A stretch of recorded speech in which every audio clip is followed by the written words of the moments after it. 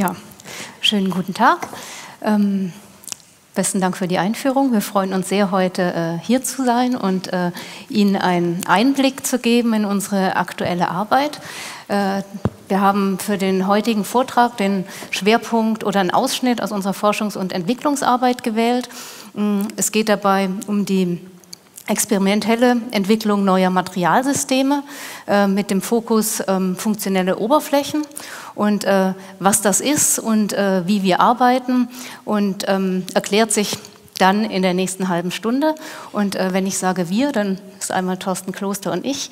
Das, äh, wir leiten ein interdisziplinäres Team. Thorsten ist Architekt, ich bin hier äh, bildende Künstlerin und äh, weiter haben wir noch die Expertisen aus dem Bereich Interaktionsdesign, Produktdesign, aber auch äh, Materialtechnologie und äh, Experimentalphysik. Und wir möchten heute der Vortrag heißt Blinkcrete. Das ist ein neues Material, ein lichtreflektierender Beton, den wir entwickelt haben. Und wir möchten Ihnen anhand dieses Werkbeispiels den Weg zeigen, den wir gegangen sind zu dieser Entwicklung und ähm, aber andererseits auch einen ähm, Einblick geben in die gedanklich konzeptuelle äh, Umgebung, in der wir agieren. Und wir starten mit dem ersten Bild. Ach hier. Ja, genau, ich werde das mal übernehmen. Also ähm, äh, kurz zu unseren, äh, unserer Arbeitsweise sozusagen, versuchen das zu hinterleuchten oder darzustellen, wie wir das, wie wir, wie wir das machen. Ähm, die wichtigen Stichworte sind schon gefallen, nämlich äh, Stichwort Interdisziplinarität, Oberfläche und äh, Licht in Bezug auf jetzt Blinkread, den lichtreflektierenden Beton. Diese Grafik, die äh, kennen Sie vielleicht noch aus dem Schulunterricht, das ist ähm, äh, das Muster, was sich ergibt beim sogenannten Doppelspaltexperiment auf einer, auf, auf einer Maske, im, wenn man quasi eine Versuchseinordnung hat von einem Schirm, in dem man zwei schmale Streifen sozusagen hineinschneidet, dann äh, Licht sozusagen drauf äh, richtet, dann entsteht auf dem, äh, auf der, auf dem, ja, auf dem Schirm äh, in einem bestimmten Abstand hinter dieser Maske eben dieses Muster über unerwarteterweise. Äh, heute ist es das vertraut, aber ähm, das ist in der, in der, Physik, in der experimentellen Physik ein, eines vielleicht der zentralen äh, Experimente, das am Beginn steht von, von dem, was, was unser heutiges Verständnis von Material und Materie eigentlich ausmacht. Ähm, es weist zum einen darauf hin, auf die Materialität von Licht. Also was Sie hier sehen, sind im Grunde äh, ist, die, ist, die, ist, die, ist, eine Abfolge, äh, wie dieses Muster auf diesem Schirm entsteht. Und äh, was man da sieht, sind im Grunde Photonen. Es wird, könnten aber auch Elektronen sein. Also es sind diese nanodimensionsgroßen äh, Teile, aus denen sich letzten Endes im Grunde Licht konstituiert. Und die Frage, ob Licht ein äh, quasi Welle oder Teilchen ist, das war eine der zentralen Fragen in der Physik. Ein großer Streitpunkt. Diese beiden Skizzen illustrieren das ein Stück weit. Es ist auch im Grunde die, äh, sagen wir mal, die, ähm, ja, die Handlungsebene oder das, wo, was, was, uns im Alltag auch äh, vertraut ist, also was wir über Licht sozusagen wissen. Äh, zum einen oben die äh, Darstellung oder die Logik von, von der Strahlungsoptik, also äh, Stichwort Licht und Schatten, also das ist sozusagen das, was wir im Alltag erfahren, also äh, die Sonne scheint, wir werfen einen Schatten und das funktioniert eben aufgrund dieser Strahlungsoptik. Also Licht wird sozusagen vereinfacht dargestellt als, als Strahlensystem. Und das untere, das ist nochmal das, ähm, eine Darstellung dieses ähm, Doppelspaltexperiments. Also Sie sehen eben links von dem Strich äh, prallen quasi parallele ähm, ja, ähm, Wellen auf diesen ähm, Doppelspalt auf und werden an diesem Spalt gebeugt. Das, ist, das hängt einfach ab von, der, von den Dimensionen dieser ganzen Anordnung und dann passiert das halt. Ähm, ist keineswegs selbstverständlich. Schon Newton hat sich gefragt, warum wir eigentlich, äh, wenn wir uns an einer Hausecke nähern, zum Beispiel eine Person hören können, bevor wir sie, warum können wir sie nicht sehen? Also ähm, es müsste ja eigentlich so sein, wenn Schall sozusagen um die Ecke geht, warum macht es eben nicht der, ähm, also die, die Lichtwelle, wenn, wenn beides doch irgendwie wellenförmig ist. Und es hängt eben unter anderem mit der Dimension der Welle zusammen, also Schallwellen sind tendenziell langwelliger als Lichtwellen. Und wenn Sie das Objekt sozusagen entsprechend verkleinern, äh, beziehungsweise äh, dann entsteht eben, nehmen wir den Wellencharakter von Licht wahr. Und wenn Sie, sagen wir mal, ein, ein, äh, ein ein Gebäude ausreichend groß machen oder so, also äh, dann hören Sie, die, hören Sie die Person auch nicht mehr. Also das heißt, ein großes Haus blockt eben Schall dann doch ab. Das Ganze ist für uns eben interessant. Wir benutzen solche, ähm, äh, solche äh, sagen wir mal, Gedankenexperimente und tatsächlichen Experimente aus der Physik sozusagen als, als Sprachvehikel zwischen den verschiedenen Expertisen, die wir in unserem Projekt haben. Also, Heike hat schon erwähnt, dass wir unter anderem auch Experimentalphysiker in unserem Projekt haben, eine Gruppe Blinkread, ganz wichtig. Und im Grunde äh, sind wir sozusagen als Architekten und Künstler davon fasziniert, von dem, von, von, der, von dem Abstraktionsgrad und von der Art und Weise, wie hier gedacht wird. Und es ist eben gleichzeitig auch eine, eine so eine Art äh, Ebene, auf der wir der, der Physik äh, sozusagen begegnen können, wo wir uns austauschen können, wo wir eben über diese Denkfiguren im Grunde zu äh, unseren Materialforschungsprozessen ein Stück weit katalysieren. Ähm, Nochmal ganz kurz zu Ende gebracht, das Ganze, es ist eben total interessant, also dieser Widerspruch zwischen, oder diese Diskussion, ob es Welle oder Teilchen ist, mündet eben äh, schließlich äh, zu, zu, der Erkenntnis, dass Materie im Wesentlichen, ich hoffe, es klappt jetzt, wenn ich hier draufdrücke. Es müsste jetzt eigentlich ein Video ablaufen. Ja, also es ist eben eine, also der Künstler Kenneth Nelson, den Sie vielleicht von seinen Tensegrity-Strukturen her kennen, hat sich stark mit diesem Thema auch beschäftigt und äh, das ist eine interessante Variante von diesem Video, habe ich noch nicht gesehen. Also da ist ein Problem mit der Technik gerade. Äh, hier, hier, sollte im Grunde zu sehen sein, wie ein Elektron quasi Licht empfängt und dadurch in den Schalensystem eines Atoms hin und her springt. Und äh, äh, das führt uns zu der Erkenntnis, dass alle Materie im Grunde im, im, im Innersten aus nichts besteht. Ähm, führt uns aber auch zu der, der Erkenntnis, dass Materialforschung auch im, äh, ein, ein, äh, sagen wir mal, ein Prozess ist, der sich im molekularen äh, Bereich abspielt. Also Materialforschung wird nicht nur, aber in wesentlichen Teilen eben auch, ähm, sagen wir mal, ähm, äh, ja, in, die, in dieser Nano- und Mikroebene äh, vollzogen einerseits und andererseits ist es eben so, dass ähm, äh, sich sozusagen, dass es so die These gibt, die auch oft verifiziert worden ist inzwischen, dass wir uns wegbewegen von, von, von einer Materialkenntnis, die sozusagen uns äh, dazu zwingt, äh, die Eigenschaften eines Materials zu berücksichtigen, hin zu einer, äh, einem Umgang mit Material, äh, das es uns erlaubt, äh, quasi zu, äh, vorherzubestimmen, was das Material können soll. Also das ist so eine Art Shift sozusagen. Und äh, Stichwort Oberflächen wurde auch schon genannt. Wir konzentrieren uns eben auf, auf, die, äh, auf die Oberfläche der Dinge sozusagen. Also diese äh, Skizze soll Ihnen das ein bisschen veranschaulichen. Links sehen Sie eben dieses kubische Objekt. Das könnte ein Tisch sein, es könnte aber auch ein Haus sein. Dann in der Mitte der Kreis beleuchtet das Problem der Konstruktion, das eben Architekten ja vertraut ist, eben jeden Tag, haben wir heute auch schon viel darüber gehört. Und unsere Forschungsarbeit konzentriert sich eben auf, diesen ganz, auf diese ganz rechte Blase, also auf die Frage, was spielt sich an der Oberfläche ab. Und ähm, auch das haben wir heute schon ein paar Mal gehört, aber vielleicht nochmal mit einem, einer anderen Wortwahl von unserer Seite. Also wir sprechen eben davon, äh, von, von, zum Beispiel von energieerzeugenden Oberflächen und nicht von Solar. Das, äh, äh, Sie sehen hier das, den schematischen Aufbau einer Solarzelle und da begegnen uns eben auch die, äh, sagen wir mal, Neutronen, Elektronen und äh, ganzen Atome, die wir gerade schon kennengelernt haben, wieder. Also die Kenntnis über diese Prozesse ist halt äh, wichtig. Ähm, wir würden sagen auch eben für, für Architekten und Planer. Und ähm, es macht immer einen Unterschied aus, wenn ich sage energieerzeugende Oberfläche oder Solarpanel, ähm, dann gelange ich sozusagen eine andere äh, Logik und äh, ich kann unter dem Begriff der energieerzeugenden Oberflächen eben verschiedene Systeme subsumieren. Anderes Beispiel, lichterzeugende Oberfläche, wie die, der schematische Aufbau einer sogenannten organischen Leuchtdiode, also OLED genannt. Ähm, das kennen Sie vielleicht schon. In, äh, Sie können sicher sein, dass Ihr nächstes oder übernächstes Handy mit so einem sogenannten OLED-Display ausgestattet ist. Das ist im Prinzip ein leuchtender Kunststoff, den man aber auch als, äh, sozusagen als lichtgestaltendes Element einsetzen kann. Also der Traum von der, von, der, von der Plastikfolie, die im Prinzip Licht emittiert. Ich finde es auch noch interessant, das haben wir heute auch schon gesehen bei äh, äh Ulrich Knag heute Morgen, äh, dieses, dieses kleine kleine Skizze tauchte da auch von Mike Davis, äh, eine, eine, die polyvalente Wand, äh, Wand für alle Jahreszeiten. Und die ähnelt doch stark, finde ich, also dem, dem schematischen Aufbau dieser organischen Leuchtdiode. Auch in der Dimension übrigens. Und ähm, jetzt, bevor Heike gleich über Blinkread äh, erzählen will, nochmal, äh, möchte ich kurz zeigen, was es in unserer Forschungsarbeit äh, in Kassel an der Universität bedeutet wir experimentieren eben äh, viel äh, herum, sage ich jetzt mal. Also äh, die Expertisen, die, ähm, die gerade genannt wurden, ähm, äh, also der Schwerpunkt ist dann eben doch in der Architektur und in der bildenden Kunst. Äh, und äh, das ist ein typisches, sagen wir mal, ähm, Beispiel, das Sie vielleicht auch schon mal gesehen haben. Hier geht es eben darum, dass man eigentlich mit einer Foto, also thermoaktiven Farbe eine Oberfläche im Grunde einfach nur beschichtet, also gesiebdruckt hat und man eben beobachten kann, also wenn man einen heißen Becher draufstellt, erscheint dieser rote Ring und der verschwindet allmählich, wenn, äh, wenn die Farbe sozusagen wieder abkühlt. Das Ganze ein bisschen sozusagen technisch äh, versierter.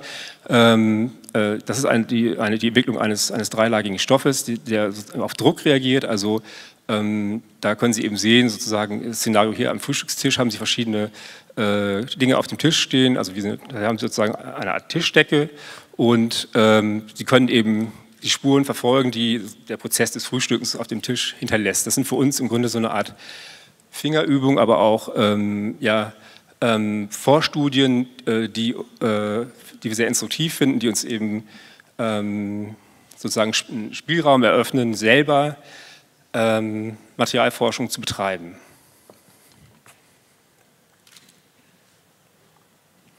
Anderes Beispiel, Stichwort äh, äh Photovoltaik.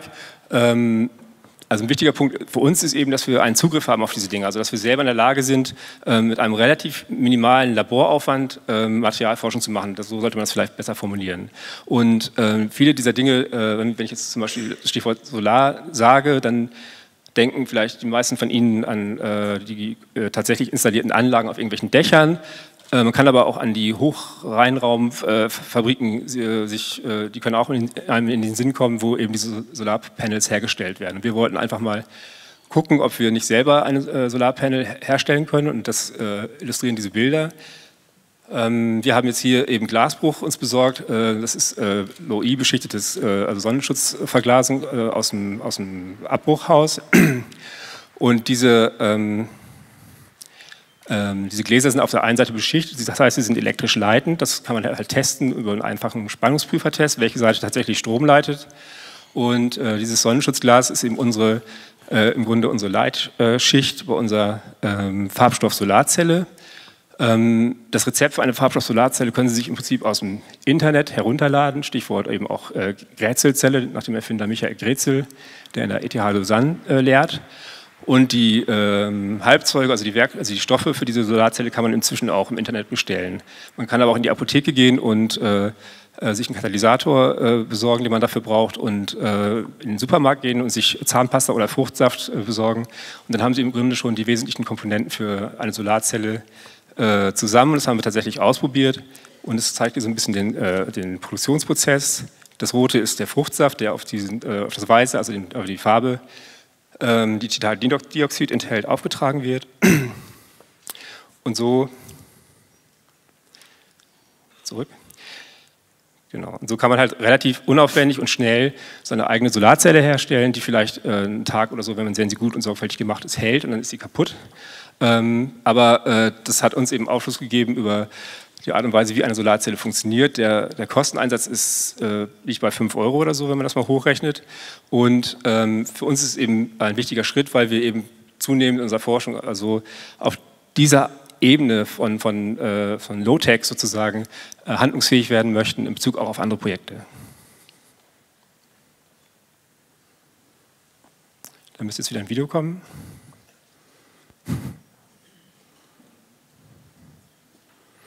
Anderes Projekt von unserem Mitarbeiter Clemens Winkler, das sogenannte Water Radio.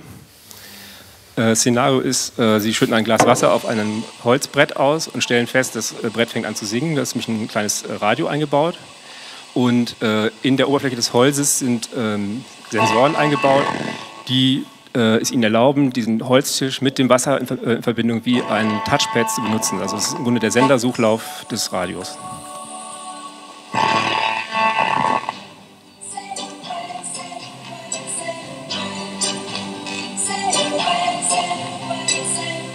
Sie sehen vielleicht den kleinen Punkt, das ist der Sensor, der Metallsensor, den wir da eingearbeitet haben.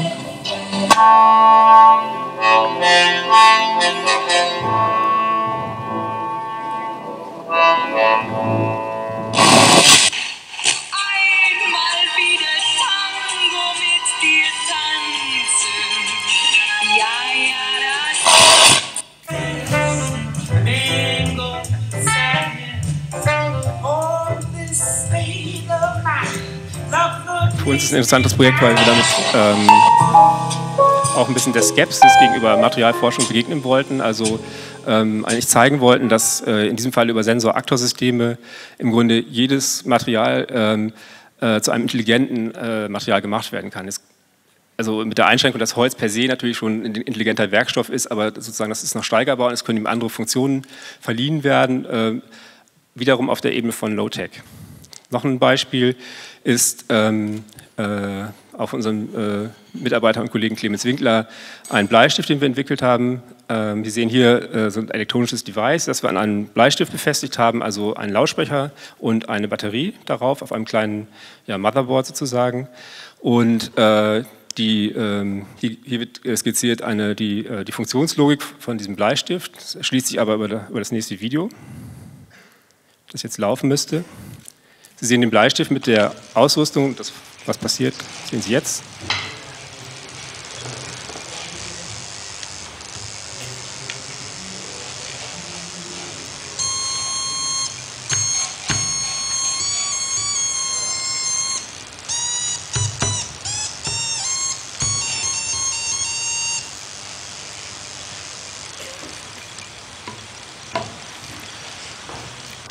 Wiederum im Grunde ein spielerisches Experiment, das äh, äh, aber auf größere Zusammenhänge verweist. Das äh, haben wir auch in Kindergärten ausprobiert. Das ist relativ äh, ungefährlich. Schwache Ströme sind da irgendwie, äh, werden da genutzt. Das haben wir auch in einer Ausstellung, die wir gemeinsam mit dem Max-Planck-Institut für Wissenschaftsgeschichte vor zwei Jahren in der Berliner Architekturgalerie EDIS gemacht haben, äh, ausgestellt. Ähm, da war das sozusagen ein, ein, ein, Project in Time. Also Sie sehen hier diesen Stift auf einem mit Papier bespannten Tisch. Und im Laufe von, ich glaube, sechs Wochen äh, haben die, äh, die Besucher der Ausstellung sozusagen Gelegenheit gehabt, diesen Stift zu benutzen. Und der hat sich dann mit der Zeit eben so auf diese Art und Weise vervollständigt. Und ähm, wir fanden das eben interessant in Bezug auf A, Kommunikationsdesign und Partizipation sozusagen, wenn Sie so wollen. Und andererseits haben wir uns eben gefragt, was ist es eigentlich, was man da sieht? Also ist es jetzt ein Bild? Haben die Leute sozusagen Bilder gemalt oder haben sie Partituren gemalt? Haben sie Musikinstrumente entworfen auf diesem Tisch? Also was ist dieser Tisch eigentlich? Also die Frage lasse ich auch erstmal so als Frage äh, im Raum stehen. Das ist jedenfalls etwas, was, uns, äh, was wir sehr interessant finden. Und vielleicht darf ich mir dann diese Bemerkung erlauben, dass es eben für uns auch verweist auf diesen ganzen Bereich, den Sie vielleicht auch kennen, der gedruckten Elektronik, also etwas, was auch intensiv wieder auf einem Hightech-Maßstab äh, äh, erforscht wird. Und ähm, äh, als ich es kürzlich vorgestellt habe, meinte dann der Kommentator hinterher, dass man sich vorstellen könnte, dass eben in fünf oder sechs Jahren nicht mehr der Elektriker kommt und die Leitung äh, im Haus verlegt, sondern kommt eben der Maler und macht das. Also das sind so äh, technische Entwicklungen, die äh, ähm, da so ein bisschen gespiegelt werden in diesen Experimenten. Jetzt kommen wir sozusagen zum Hauptakt, zu unserem, unserer Materialentwicklung Blinkread. Ähm, äh, das ist sozusagen das Bild zur Überleitung. Das ist ein Fundstück. Äh, das haben wir. Äh, es handelt sich um ein ja, Experiment von der Universität, in, das in Lyon gemacht wurde. Das sind zwei identische Glaskugeln, die ins Wasser geworfen werden. Wenn Sie diese in der Hand hätten, würden Sie keinen Unterschied erkennen. Aber in dem Moment, wo Sie die ins Wasser werfen, verhält sich die eine eben wie so ein eleganter Turmspringer, weil sie hydrophil beschichtet ist und die andere ist hydrophob beschichtet und macht eben so einen großen Splash. Und das verweist nochmal auf das äh, Thema der Oberfläche und äh, gleichzeitig auf die Glaskügelchen, die für unser Material Blinkread äh, wesentlich sind. Ja, jetzt schließe ich an und äh, steige etwas tiefer in die Entwicklung von Blinkread ein und das zeigt vielleicht auch jetzt gleich mit dem ersten Bild anschließend, also wie auch aus künstlerischen, experimentellen, ähm, äh, äh, ja, mit äh, wie dann aus solchen künstlerischen äh, Experimenten auch ähm, reale Produkte entstehen können. Und hier ist ein Testfeld, also äh, eine Maschine, die bringt äh, Straßenmarkierungsbelag auf in unterschiedlicher Güte und Dichte. Und äh, hier habe ich vor zehn Jahren begonnen, mit retroreflektierenden, lichtreflektierenden Materialien zu experimentieren, erstmal im ähm, künstlerischen Kontext. Und ähm, Dazu sind unterschiedliche Ausstellungen entstanden und hier exemplarisch ein Beispiel. Das ist äh, in eine Ausstellung in einem Parkhaus in Berlin, Parkhaus Bärenstraße, Stadt im Regal. Wir haben die äh, parzellierte offene Struktur des Parkhauses als gestapelte Stadt verstanden und das war dann der Handlungsraum für äh, unterschiedliche, also für eine Gruppe von Künstlern, hier Arbeiten zu realisieren. Mein Beitrag war ein 60 Meter langer Steg mit reflektierender äh, Oberfläche. Es war ein Split-Level-Parkhaus und der Steg bewegte sich von der oberen Etage äh, als Belag auf den Beton in die darunter liegende und ähm, endete vor, ah, hier, und, äh, äh hier nochmal das Split-Level, der Steg, Steg äh, die Ausstellung war dann als Drive-In befahrbar und äh, endete vor der Fassade im freien Fall.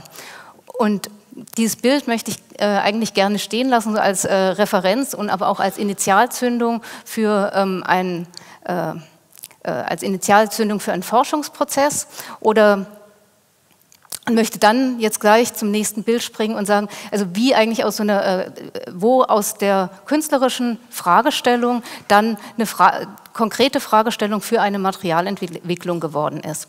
Und äh, hier sehen Sie ein Bild von Entwurf äh, des U-Bahnhofs Jakobistraße ähm, Pempelforter Straße in Düsseldorf.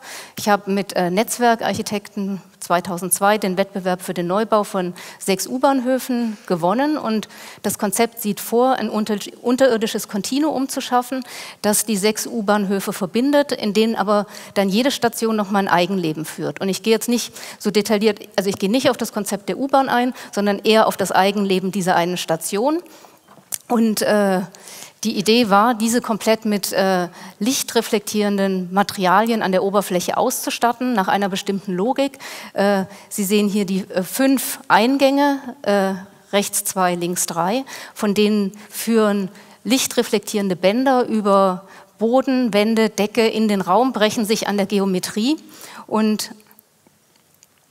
schaffen dann eine Raumsituation, die äh, vielleicht eine Mischung aus äh, äh, experimentell, also äh, geometrischem Versuch und Leitsystem ist. Hier sehen Sie das Bauwerk, wie es äh, unter der, äh, also wie es in der Erde sitzt und ähm, beim, wie es in der Erde sitzt äh, die Eingänge, man kann vielleicht erahnen, wo die äh, Treppen und die äh, Rolltreppen runterführen, dann auf die Verteilerebene in die Mitte führen und uns nach ganz unten leiten in den Stationsraum, ähm, hier wo es so leicht offen ist, wo dann später die Züge fahren werden. Und ein Blick in den Stationsraum, wo quasi die Wippe durch den Raum hindurchführt. Und es war so, dass während der Planungsphase sich herausgestellt hat, dass die Verwendung von lichtreflektierendem Material so im öffentlichen Raum nicht möglich ist, weil es nicht der, äh, den Brandschutzbestimmungen äh, äh, entspricht. Das heißt, die Brandlast des Materials ist zu hoch. Es gibt nur Material, was auf äh, Kaltplastikbasis äh, basiert oder auf Aluminiumbasis. Und hier äh, kam, kam kam die konkrete Fragestellung, wurde relevant, okay, wie kann ich jetzt eine Idee oder äh, Arbeiten, Oberflächen, die experimentell, prototypisch im künstlerischen Kontext entwickelt wurden, auch umsetzen in der Architektur.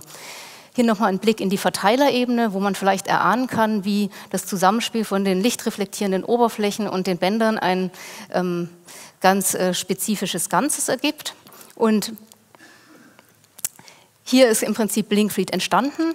Das sind, äh, es gibt zwei Blinkfried, äh, ist eine Wortschöpfung aus ähm, zwei Begriffen, Bling Bling, Glitzer und Funkeln, kommt aus dem Hip-Hop, aber auch in Frankreich gibt es mal einen Präsidenten, der hieß Präsident Bling Bling.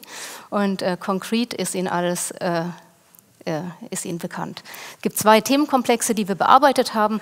Das eine ist äh, tatsächlich äh, ist die äh, Matrix, der Beton, wie dieser beschaffen äh, sein muss. Hier die Grafik zeigt die ähm, den äh, Ultra äh, Hochleistungsbeton, den wir verwenden. Im oberen Bereich ist eigentlich, wenn Sie ein Werkstück Beton in der Hand haben, ist es eigentlich ein ganz kompaktes Werkstück und aber trotzdem ergibt sich im mikroskopischen Bereich ergeben sich Hohlräume, die ähm, dafür verantwortlich äh, also die für die Festigkeit des Betons verantwortlich sind. Gibt man Partikel im nanoskaligen Bereich dazu, erhöht man diese Festigkeit bis in diese kleinste Maßstabsregion und erhöht so die Festigkeit im Beton.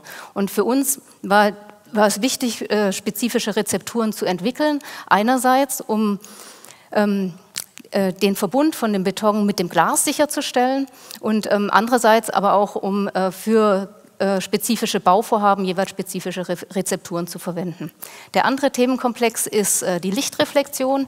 Äh, was ist das? Bei uns, in, bei uns in unserem Projekt ist es die Retroreflexion. Das heißt, normalerweise reflektiert Licht, Licht reflektiert auf jeder Oberfläche, aber immer diffus. Und ähm, hier, was wir gemacht haben, ist kleine Mikroglaskugeln in die Oberfläche äh, einzubetten, so dass der Lichtstrahl ganz gerichtet äh, in die Kugel eindringt und wieder in Richtung der Lichtquelle zurückreflektiert wird. Also es funktioniert im Prinzip wie so ein kleines Prisma. Bitte? Das passiert immer. Also das ist, das äh passiert immer. Mhm.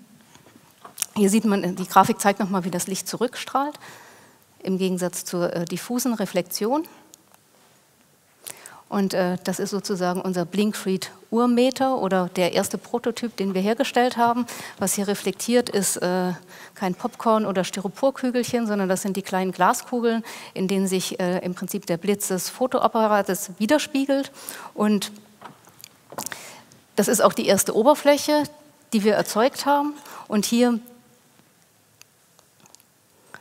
sieht man ein weiteres Beispiel. Und äh, vorne die Kugeln, wie sie im Material eingebettet sind und hinten, wie sich diese intensive Lichtreflexion einstellt. Und bei der Entwicklung von hier ist es ein enges Raster. Im Gegensatz zum vorigen Bild, wo sich eine freie Streuung ergeben hat. Das benennen wir mit Surface Layouts und für uns ist es eigentlich ganz wichtig, ähm, ein Prinzip für ein Material zu, dass wir ein Prinzip für ein Material entwickeln was dann sich ganz unterschiedliche Ausprägungen haben kann. Also das heißt, es gibt nicht ein Blinkread, sondern es gibt viele. Hier ein Formteil, bei dem die Kugeln nochmal in einem weiten Raster äh, angeordnet sind. Betonfertigteil, ähm, was dann unter Lichtreflexion so ausschaut.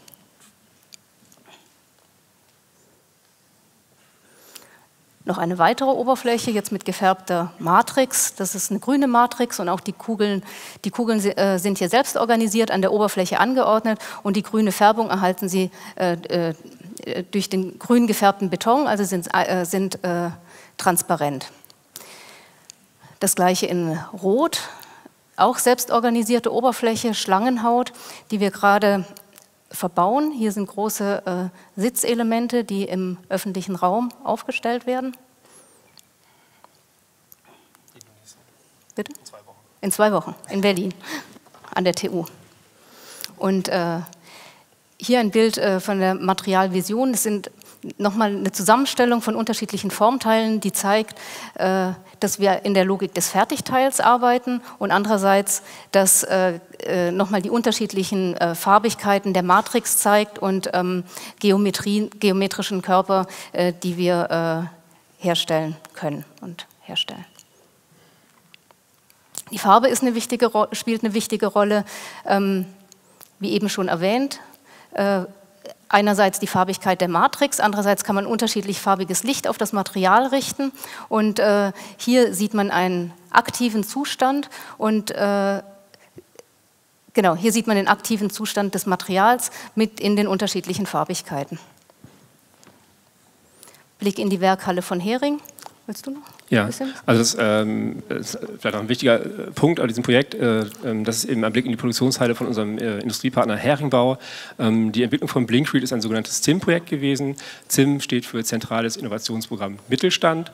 Ähm, das ist im Prinzip ein Förderprogramm der äh, Bundesregierung, äh, was getragen wird vom AIF, Allianz Industrie Forschung heißen die heute mittlerweile. Und ähm, das ist, äh, im Kern ist, steht hinter dem ZIM, äh, der ZIM-Förderung die Idee, dass eben auch äh, äh kleine und mittelständische äh, Unternehmen in der Lage sind, Forschung zu betreiben. Und sie erhalten dafür Fördergelder. Ein, eine Forschungsvariante sieht vor die Kooperation mit, einem, mit einer Hochschuleinrichtung und ähm, das ist eben die Variante, die wir genutzt haben für die Entwicklung von Blinkread. Das heißt also, ähm, da wir sozusagen die Idee für das Material hatten, haben wir uns einen, ähm, haben es sozusagen umgekehrt, aber im Ergebnis ist es ja das Gleiche. Also wir haben uns Industriepartner gesucht, eben die Firma Heringbau, die sich auf äh, Betonfertigteile spezialisiert hat und haben eben auf dieser Ebene innerhalb von zwei Jahren das, äh, das äh, ähm, Blinkread als äh, Produkt, Fertigteilbauweise entwickelt. Ähm, und ähm, eine denkbare Anwendung, äh, neben der, die Sie schon gesehen haben, wäre eben zum Beispiel, dass es, äh, was Sie hier sehen, ist eine, äh, ja, eine Fertigteilplattform, also für einen, Bahnsteig im Prinzip, Fertigteil. Und ähm, wenn man sich jetzt vorstellen würde, dass jetzt die weißen äh, Elemente oder der, der, der Estrich, den man da sieht, ähm, aus Blinkread wäre, was er in diesem Fall noch nicht ist, ähm, dann hätten Sie eben ein, äh, ein, eine Oberfläche, die eben im Bezug auf sicherheitsrelevante Maßnahmen äh, also eine Aussage treffen kann. Das heißt also, Sie können das Material gezielt einsetzen und darauf auf Gefahren stellen, zum Beispiel aufmerksam machen. Ja. Ähm, das ist jetzt eine Reihe von Beispielen, wie Blinkread äh, funktioniert, wie man es anwenden kann. Ähm, wichtig ist eben, dass man versteht, dass es eben sozusagen ein Material ist, das eben sozusagen latent da ist, das aber nicht äh, um jeden Preis Aufmerksamkeit äh, erregt, sondern das, äh, die, die, Funktionsweise von Blinkread hängt eben ab von drei Faktoren, nämlich von der Oberfläche, die vorhanden sein muss, äh, dann von, der, von dem installierten Licht, das aber auch Sonnenlicht sein kann, und von mir selbst, also von meiner Bewegung durch den äh, Raum. Und dann, äh, wenn ich mich sozusagen bewege in Relation zum Licht, wenn ich mich der Lichtquelle näher, dann aktiviert sich das Material, der Retroreflexionseffekt wird sichtbar und schließlich sehr intensiv. Ähm, nochmal dargestellt ein Beispiel eines äh, äh Leitsystems, um es nochmal Verständnis noch mal ein bisschen zu vertiefen. Also äh, klassische Situation, sage ich mal. Architekt äh, hat ein Haus gebaut, äh, Sichtbetonanteil relativ hoch und äh, freut sich, dass es jetzt, dass der Sichtbeton gut gelungen ist. Und es, es, ist aber notwendig, alle möglichen Schilder aufzuhängen, also die Oberfläche sozusagen zu verunreinigen mit Informationen. Und Blinkread würde eben in dieser Situation ähm, erlauben, äh, Informationen latent in der Oberfläche vorzuhalten und diese Information würde eben sichtbar werden in dem Moment, wo ich mich durch den äh, Raum bewege. Das kann ich sozusagen als Architekt, Planer also programmieren. An einer bestimmten Stelle äh, mit dem Umgebungslicht äh, kann ich dafür Sorge tragen, dass Information garantiert sichtbar ist. Als Nutzer in dem Gebäude kann ich mich dann entscheiden, äh, wo ich hin will und bewege mich dann wieder äh, weg von der Situation und die Information verschwindet wieder. Also so kann man sich vorstellen, äh, funktioniert Blinkread. Also kann man sich nur vorstellen, das funktioniert im Prinzip so. Abschließend noch ein Ausblick auf unser äh, nächstes Forschungsprojekt, das wir auch gerade bewilligt bekommen haben, ein, ein anderes äh, ZIM-Projekt, das wir wiederum mit der Firma Heringbau umsetzen werden und ähm, ähm, mit der Firma Fabrino aus Memmingen. Das ist ein Hersteller von äh, Betonzuschlagstoffen und das Projekt heißt Magnetic Patterning of Concrete ähm, sozusagen die nächste Stufe von Blinkread, wenn man so will, ähm, wo wir eben versuchen werden, ähm, eine Schalung herzustellen, die mit magnetischen Streufeldern operiert. Hintergrund ähm, ist eben die Überlegung äh, oder die Frage, wie man eben äh, große so, äh, Felder von Partikeln eigentlich organisieren kann, mit welchen Mitteln das im Grunde möglich ist. Da haben wir erst so einfache Feldstudien sozusagen betrieben, also haben Wellenphänomene untersucht, Schallphänomene untersucht. Das, dabei handelt es sich im Prinzip auch um äh, ja, wenn man so will, das in Bewegung setzen und das Organisieren von, von Partikeln, also in diesem Fall von Luftmolekülen. Und ich kann eben, habe ein ganz einfaches äh, System von, äh, sagen wir mal, ähm, Effekt und äh, also Ursache und Wirkung. Also wenn ich die Schallquelle in diesem Fall nur leicht manipuliere, dann erhalte ich gleich ein anderes äh, äh, Wellenbild. Also ich kann sozusagen unterschiedliche Muster und Pattern generieren mit einem relativ geringen Aufwand da, es, äh, da schließt sich wieder der Kreis zu, unser, zu, dem, was wir eingangs gesagt haben, nämlich ähm, auf, äh, unsere Verbindung zur Experimentalphysik. Wir haben halt äh, überlegt, äh, was wäre, wenn äh, zum Beispiel unsere Metall, äh, Glaskügelchen metallisch wären, also was könnten wir dann damit anfangen und haben kleine Experimente gemacht und sind in, in, wiederum in Dialog geraten mit unseren Experimentalphysikern. Also im Wesentlichen ist es Herr Arno Eresmann von der Universität Kassel und Dieter Engel von der Universität Kassel. Und die haben uns dann erzählt, ja, das äh, machen wir ja auch, was ihr da macht. Und bei uns heißt es eben Magnetic Patterning. Und wir organisieren damit eben auf der Molekular- und auf der Nanoebene eben äh, allerkleinste Teilchen. Was Sie hier sehen, ist eine Nanoaufnahme von äh, ja, atomaren Teilchen im Prinzip, die über das, Magnet, äh, das Magnetfeld da unten, also dieses Array, was man da sieht, in Reihe und Glied gebracht werden. Das ist wieder ein Video, ähm, was jetzt laufen müsste. Und hier sehen Sie, upsala. Und das zeigt Ihnen äh, auf andere Weise eben, äh, was passiert. Also wiederum sind das hier äh, also kleinste äh, Nanopartikel. Ein Magnetfeld wird sozusagen in Gang gesetzt, also der Magnet wird eingeschaltet und die Partikel organisieren sich eben auf eine spezifische Art und Weise äh, von selbst mehr oder weniger. Und ähm, man könnte jetzt den Kreis schließen zu unserer Schlangenhaut. Also die sieht, hat im Grunde ein ähnliches Erscheinungsbild. Und das sind für uns so Denkfiguren und Kreisläufe, die eben wichtig sind im Dialog mit äh, den verschiedenen Experiment Expertisen in unserer, in unserer Gruppe, die man kann ein Stück weit sagen, so versuchen wir Materialforschung zu betreiben. Hierzu unsere Arbeit äh, Magnetic Patterning äh, haben wir jetzt eben einen Antrag gestellt, den wir auch bewilligt bekommen haben, haben Vorstudien gemacht, haben quasi auf der ähm, Simulationsebene ähm, Partikelstrukturen, äh, Wolken untersucht und äh, äh, versucht zu lernen, wie sie sich verhalten, was sie so machen und haben das zum Teil schon ins Material zurückgebracht äh, und ähm, sind jetzt eben dabei, das im größeren Maßstab weiter zu betreiben und äh, sprechen jetzt eben nicht nur mehr von Glaskügelchen, sondern von Funktionspartikeln in äh, Abhängigkeit zu einer Matrix, also Beton. Und ähm, möchten dieses Konstrukt benutzen, um den Beton zu funktionalisieren. Das haben wir mit Blinkread auch schon gemacht. Also da kann man eben davon sprechen, dass wir dem Beton die, die Funktion äh, Lichtreflexion sozusagen beigebracht haben. Und wir haben uns jetzt eben gefragt, was könnte Beton sonst noch können, wenn wir versuchen, die Oberfläche von Beton zu manipulieren. Und ähm, wenn wir sozusagen nicht nur Glaskügelchen an der Oberfläche anordnen, sondern eben auch, ähm, das letzte Video, auch noch andere äh, Funktionspartikel ähm, also äh, äh, an der Oberfläche anordnen mit Hilfe dieser äh, magnetischen Schalung, so kann man das nennen. Hier müsste jetzt das allerletzte Video kommen.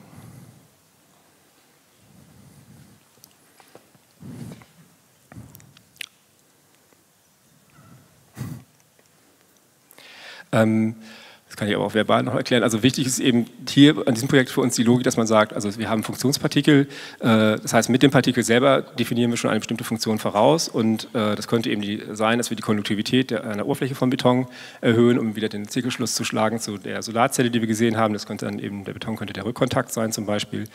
Oder ähm, äh, dieses äh, Beispiel von dem Water Radio, was Sie gesehen haben, das sind für uns eben, das sind wiederum äh, diese spielerischen Konzepte, die versuchen wir jetzt eben zurückzuführen auf, die, äh, auf diese Ebene, von der ich jetzt spreche, um eben, äh, das sind dann eben im Grunde die Szenarien, die wir vor, vor einem halben Jahr oder vor einem Jahr mal gemacht haben, die, über, die übersetzen wir jetzt in den Beton und äh, hoffen, dass wir da eben in, ja, in einem Jahr oder zwei Jahren den nächsten Vortrag halten können, der Sie dann hoffentlich auch interessiert.